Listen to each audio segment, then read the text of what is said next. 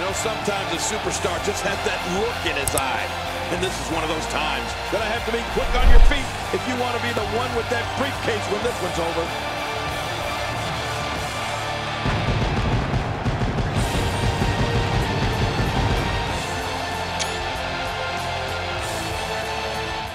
Hey, what's up guys? Joker here. Today I'm going to be walking you through how to record, render, and upload 4K 60 FPS gameplay to YouTube utilizing NVIDIA Shadowplay. And the reason I'm using NVIDIA Shadowplay is because it's the lowest impact performance recording software that I have found, and recording at 4K 60 FPS is extremely brutal. So know that going into this, if you want to capture 4K 60 FPS, it's really taxing, okay? So that's why I recommend using Shadowplay because it actually uses a 264 encoder that's built into the modern NVIDIA graphics cards, which usually just sits dormant in there when you're actually playing your games because it's a separate part of the card. And Shadowplay takes advantage of that by encoding in 264 so that it's not actually affecting your gameplay performance as much. I mean, I usually see about a 1 to 2 FPS dip when I'm using Shadowplay, even if that. So it's it's a very, very good software for recording gameplay, and it's, it's really one of the best things I like about uh, having NVIDIA graphics cards. There are other options out there you could use like Fraps or Dxtory, and Dxtory is probably one of the most robust recording softwares that you'll find, but it does have a big performance impact when you are recording games, so that's something that you should take, in, take into account here. Uh, but to get started, we've got Shadowplay right here, which you should have as long as you have an NVIDIA graphics card and your latest driver is installed. To get this opened up, just go down to your notifications area here and right click the little NVIDIA eye icon and go to open NVIDIA GeForce Experience and that'll bring us in here. And once you just click Shadow Play, it'll bring up this smaller context menu. So to enable Shadow Play, you just go ahead and click this little light switch like thing and it goes ahead and flips it on. And these are the basic settings that you should have when you're first starting out. And I'm going to show you the settings that I like to use and I'm going to explain why I like to use those settings, but you can obviously customize these to the way that you want to use them. For the mode, I prefer to stay on manual. You could use shadow and manual if you want. The way shadow works is it's always constantly recording the previous 5, 10, 15, 20 minutes, whatever you set it to in this option right here, so that it's always capturing that and then writing over it so that if you, you know, have a moment happen in the game, you're like, oh man, I wish I was recording during that. Well, you could just go ahead and hit Alt F10 and then you've captured that previous 5, 10, 15, 20 minutes of footage. This is personally something I don't utilize, so I like to use manual personally. For the quality, by default, they have this just set to high, but I always set it to custom. The reason being is that you can set a higher bitrate, and the resolution you could leave to in-game, or you could set it to 4K. And then you might want to do this because you could actually be playing a game in 1080p or 1440p, and you could be recording in 4K 60 FPS if you want to, and then upload that to YouTube. And that would offer you the benefits of getting a higher bitrate on YouTube.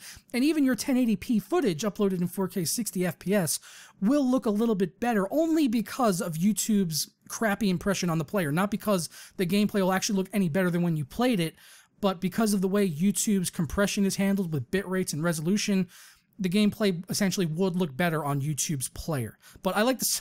We're setting this to uh, 4K 60 FPS, so that's what I have it at, at here with the bitrate all the way set to the max at 130. So we're getting the highest quality that we can.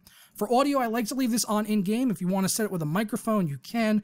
This is something I don't like to do, and I'll explain why. It's so that in post production, if you're if you're recording and you want to have your audio synced up with the gameplay or something like that, then you're you know it's you're not going to be able to change the levels on one or the other. It's going to be all on one track. So if you raise the volume, it raises the game volume as well as your voice voice volume. So recording to a separate piece of software like Audacity, which is what I use, it's completely free. I record my microphone to that while I'm recording my video on Shadowplay, and then I just go ahead and sync those up later on in post production. And it's really easy. It takes like literally two seconds. Okay, so once we're done with these options in here, we do have a few more things that we can configure by clicking the cog wheels right here. By default, your camera should be off, but it should have a status indicator set for the bottom right corner of the screen. You can turn that off if you want to, or move it around anywhere, and basically this is just something that turns on to let you know that you are currently actively recording. Uh, they also have an FPS counter on here, which by default is off. I like to turn this on though, even if I'm not recording, I like to have this on, because then you're always getting feedback on what your frame rate is in your game, so if you're curious about what your performance performances, this is something you could utilize even if you're not actually recording. For your microphone, you could set it to always on or push to talk if you are taking advantage of the audio recording options for your microphone. They've also got all the keyboard shortcuts here, so you should familiarize yourself with this. It's Alt F9 though to start and stop recording in game, and then Alt F10 is the shadow play one. For your recording location, I highly recommend setting this to a separate drive from what you're actually gaming on. For me, I usually game on my G for gaming drive, my SSD, and then I record to my H for HGST, my 4 terabyte mechanical drive. So that's my recommendation is record to a separate drive and don't worry about a mechanical a mechanical drive not being fast enough to record 4K 60 FPS gameplay. I assure you that it is plenty fast enough to capture 4K 60 FPS footage. All the gameplay I've been capturing like that has been on my mechanical drive. So once we have our gameplay captured, we can go ahead into our editing software, and I'm choosing to use Vegas Pro 13. I was previously running on 12, but I upgraded to 13 because it has all of the encoders that I need for rendering out my 4K 60 FPS gameplay. And you can just take your footage, drag and drop it right into your software right up here, and then you could do your editing magic. Whatever you're going to be doing uh, to edit your gameplay, you know, you could do that. Go ahead and throw it on. As you can see, I recorded some epic gameplay right here of uh, the PC Master Race God and founder Gabe Newell uh, fighting against Spider-Man that I recorded. I was going to maybe do a video with this, but I decided not to. But there it is anyway. We got Gabe Newell being an absolute boss as he likes to be. So before we actually render out our footage, once you are done doing whatever editing you're doing, there's one thing that everyone has to do with gameplay before you do it. And you have to do this. You have to right click on the video portion of your gameplay, come down to switches, and disable resampling. Because what happens is Vegas will interpret if they, if maybe your game like missed a frame or skipped a frame or something like that, and they'll try to interject their own. And what that'll do is it creates pixelated or blocky footage after you've rendered it on YouTube, and you might be you might have been scratching your head. Why do I have my footage looking like this? Because it didn't look like that when I recorded it. It's because you didn't disable resampling. Make sure you do this for every single individual video clip. If the option is ever grayed out, it means you've accidentally selected an audio clip. So make sure you disable resampling.